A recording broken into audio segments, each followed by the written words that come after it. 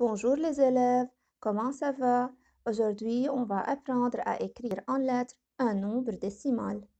Je veux vous donner un exemple.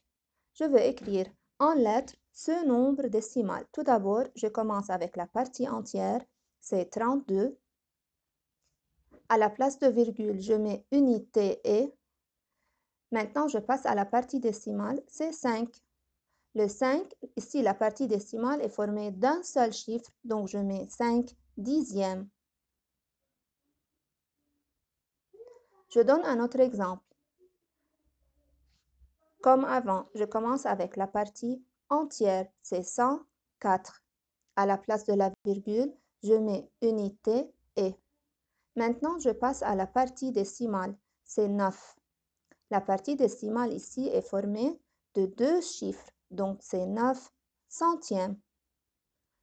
Finalement, si on a un nombre décimal dont la partie entière c'est 0, comme d'habitude, je mets 0 unité et 5, la partie décimale est formée d'un seul chiffre, donc c'est 5 dixièmes.